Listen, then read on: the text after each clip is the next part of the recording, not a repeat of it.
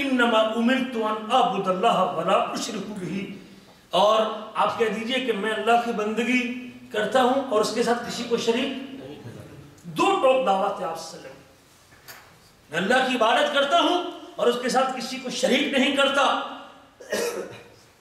वह इलही अदू और इसी पैगाम की तरफ़ बुलाता हूँ कि इबादत की लायक सिर्फ़ अल्लाह की दात है और उसके साथ किसी को शरीक करना जायज़ वह इलही अदू और इसी की तरफ़ मैं बुलाता हूँ इले ही माप और उसी जात की तरफ़ मैंने लौट के जाना है।